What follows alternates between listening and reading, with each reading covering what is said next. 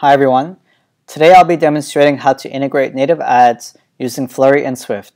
In order to display the functionality of native ads, I'll be using a project skeleton containing a pre-built table view controller along with a custom cell class, as well as an application containing some built-in content. If you'd like to follow along, I've provided a link in the description of this video containing both the project skeleton as well as the completed app. Before we begin integrating native ads, let's take a look at the sample app. Here we have two table cell rows consisting of labels, image views, and a description. By the end of this video, we'll have an application consisting of both personal content mixed in with native ads in a single stream. Our first step in displaying native ads is to bring in the required Flurry SDK files.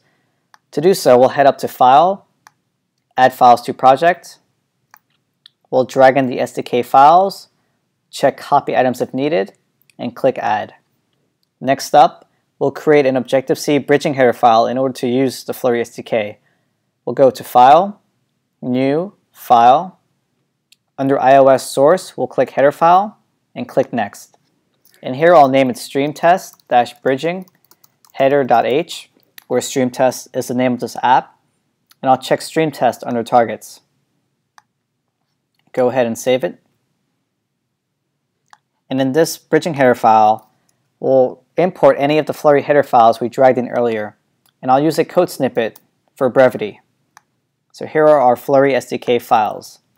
Next, we'll go into our project root. In build settings, we'll search for Swift compiler. Next to Objective-C bridging header, we'll put in the path to that bridging header file, which is located at streamtest slash streamtest dash bridging header.h.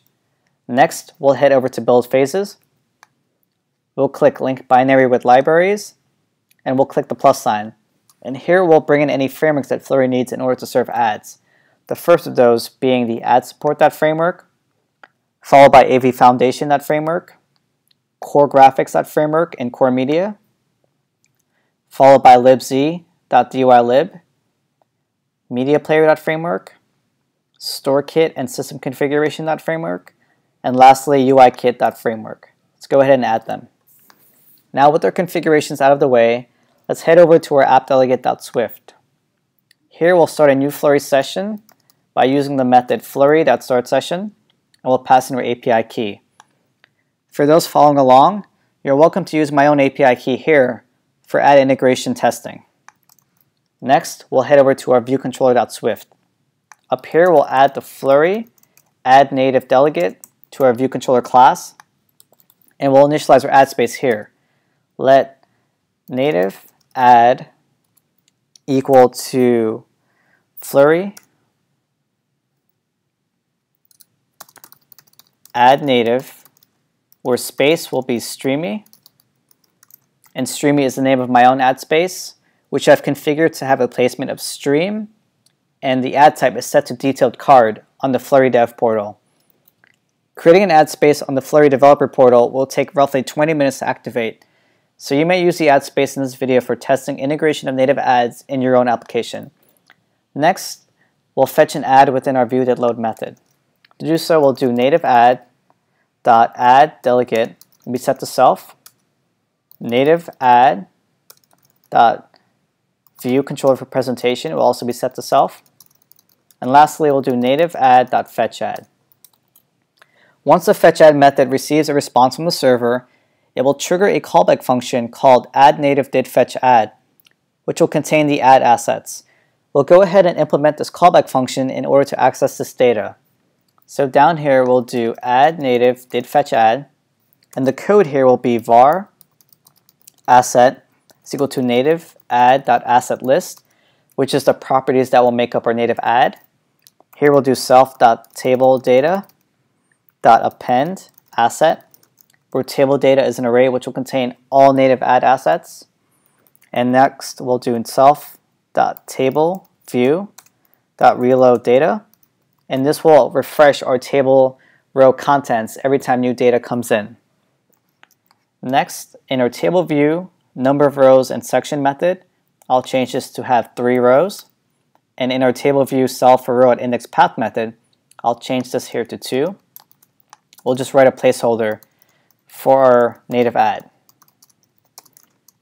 And we'll go ahead and run our application to see how it looks currently. Here we still have our content, but now we have a default cell which is going to be placed right in between our pre-existing content. So let's go ahead and display our native ad. Back in the code, first we'll check if self.table data.count is greater than zero. Here we check if table data is actually populated with data. The reason for this is because fetching an ad is an asynchronous task. And at the initial rendering of our table, there is no table data. So if we do have some ad data, we'll go ahead and do for var index is equal to zero, index is less than self dot table data. We'll iterate over the first element dot count index plus plus.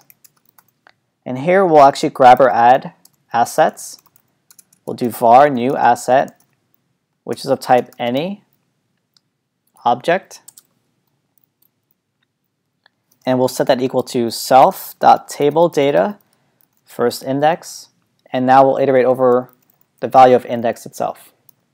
And now we'll check all the properties of our ad to display a headline, a description, an image, a branding logo, and the sponsor name. So to do that, we'll do if new asset name is equal to headline. We'll do cell dot stream title label dot text is equal to new asset dot value. Next, if new asset dot name is equal to summary We'll do cell dot stream description label dot text is equal to new asset dot value. Next, let's go ahead and display a high quality image of our ad. If new asset dot name is equal to sec hq image, we'll do let URL, which is of type NSURL, be equal to NSURL with the string being set to new asset dot value.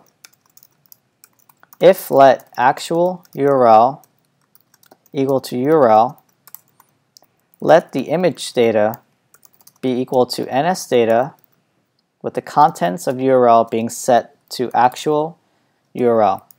If this was all successful, we'll do if let actual image data be equal to image data, and here we'll display our image. We'll do cell.stream image view dot image will be equal to UI image and the data will be the actual image data. Next, we'll display a branding logo which has same logic as the code we just wrote. Let's go ahead and copy it. And here we'll change the string to be sec HQ branding logo. And we'll just change the image view to be sponsored image view. The last asset we'll display is the sponsor name.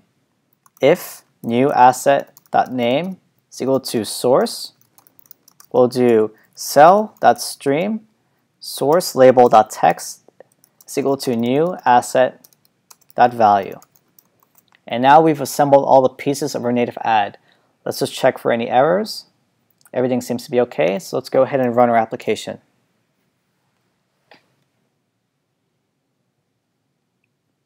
And here we see that we still have our old content. We have a sponsor name, a title, a branding logo, the image, and the description of our ad. And it has a little note saying sponsored down here to let the user know that this is a sponsored advertisement, followed by more of our content in one stream. Thanks for watching.